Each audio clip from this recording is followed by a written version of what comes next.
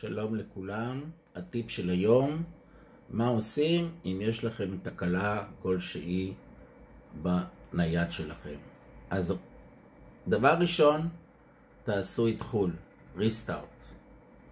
אחר כך, אם התמונה נראית חשוכה, לכו להגדרות, שם יש אה, תצוגה, ובתצוגה אתם יכולים לסדר את התאורה של המסך.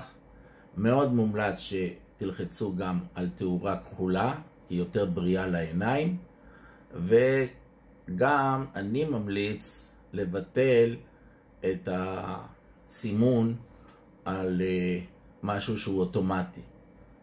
זאת אומרת שאתם תמיד תהיו במצב שהחלטתם. נושא נוסף הוא קול.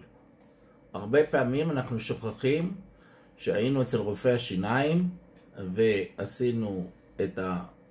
לחצנו על, אה, על אייקון של הקול והפכנו אותו לשקט או בכלל לא, אז תמיד אם יש לכם בעיה של קול, אתם הולכים קודם כל לשם לראות.